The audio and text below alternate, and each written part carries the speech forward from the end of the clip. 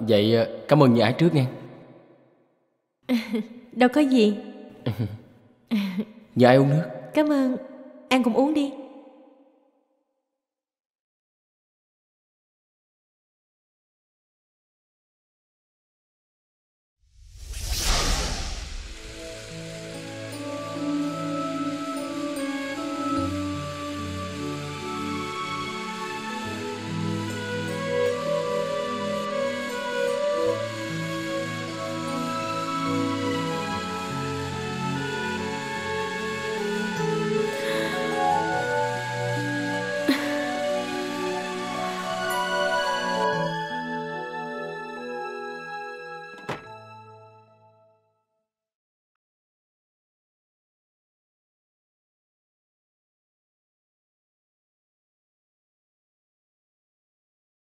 Alo?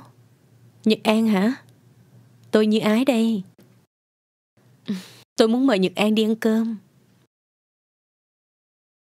Ừm, Không có việc gì đâu. Về việc công ty Về làm ăn thôi. Được Tôi sẽ đợi. Ừm, Nhưng mà Nhật An không được hứa lèo đó nha. Ok Bye bye.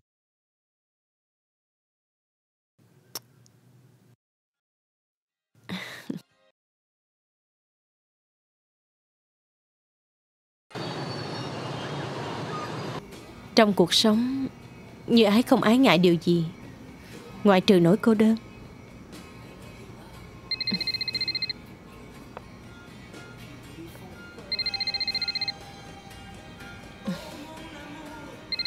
Ông Tường gọi, Nhưng Như Ái sẽ không nghe đâu. An có biết tại sao? Vì Như Ái đang có diễm phúc được ở bên An.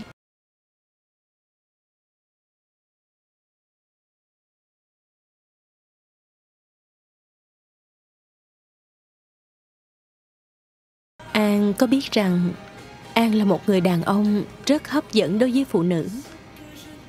Một manly chính hiệu.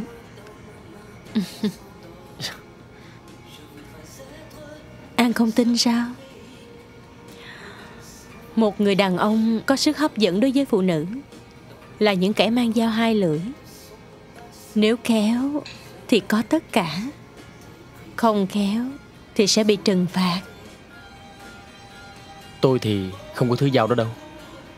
Mà nếu có thì tôi cũng đã quăng nó đi từ lâu rồi. Hôm nay ở công ty Lần đầu tiên như ái thấy cảnh tượng khách hàng Kéo ung ung đến để mua đất. An đã thành công Và sẽ càng thành công hơn nữa. Một ngày không xa Có lẽ sẽ vượt qua cả Sơn Chị đã quá khen. Nhưng tôi thì không bao giờ có thể vượt qua Sơn được. Như ái còn biết cả chuyện An thân tình với Thảo Uyên. Phải chi có một người nào đó Yêu như ái Như An từng yêu Uyên. Chuyện này không nằm trong phạm vi trao đổi công việc. Tôi xin được phép không tham gia.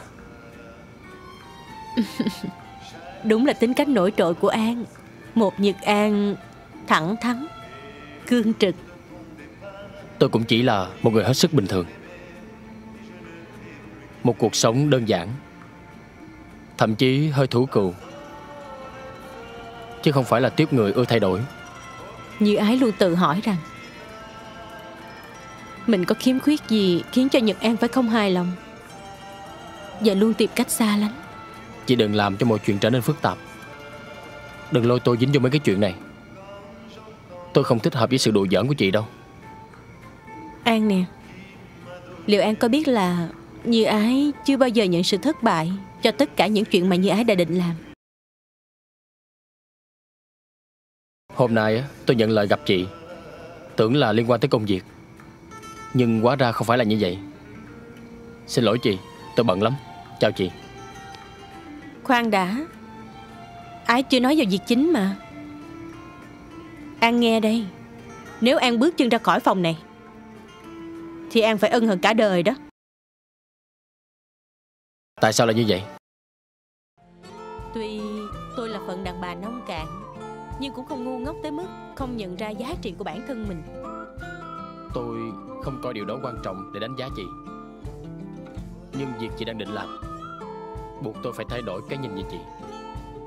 Tôi yêu An Và tôi muốn có An Và nếu tôi có trở thành một kẻ xấu xa tàn nhẫn Thì cũng chỉ là vì An Chị Nguy Biển Chị làm hại Bích Liên cũng chính là hại cho bản thân chị.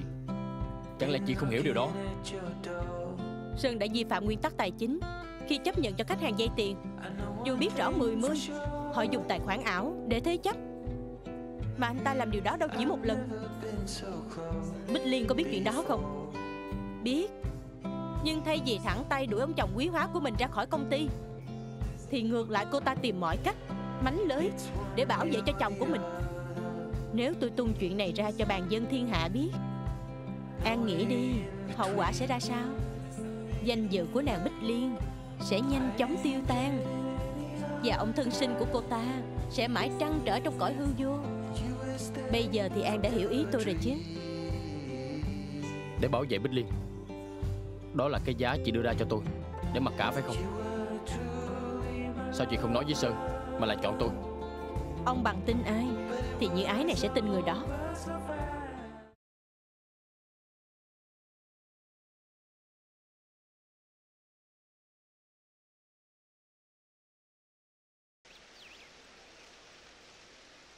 Thảo Uyên, Bây giờ Anh đang có biết bao nhiêu chuyện Muốn tâm sự với em. Mà em lại ở xa quá. Ước gì lúc này đây. Chúng mình được sống yên bình Ở vùng quê nhà ông nội.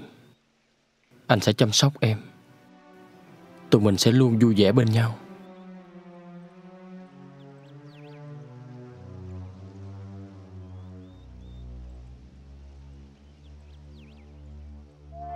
Anh nhớ em nhiều lắm.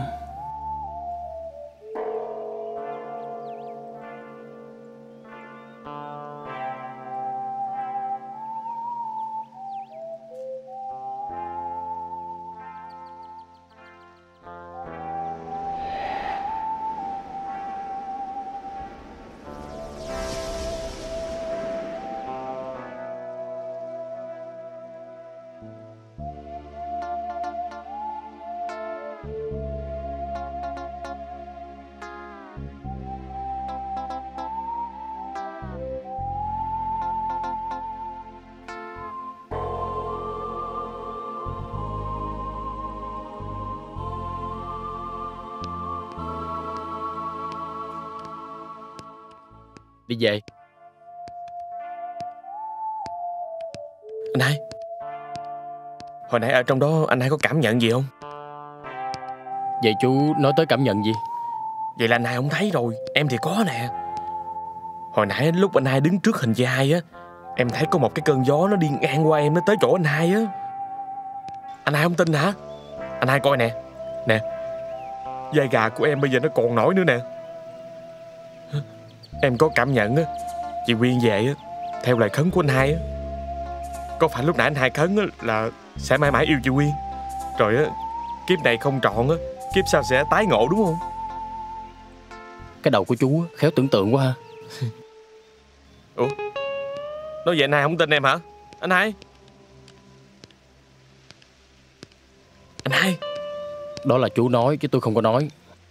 Em nghe người ta nói á Khi chết mà còn uất ức điều gì á Thì khó đầu thai lắm. Nhất á, là những người mới mất Mà vẫn còn yêu á Thì hay có hiện tượng như vậy á. Chắc chắn là chị Uyên á Đang rơi vào hoàn cảnh đó. Nên lúc nãy á, em cảm giác có luồng gió chạy qua người em Tới chỗ anh á. Thảo Uyên sau lưng chú kìa.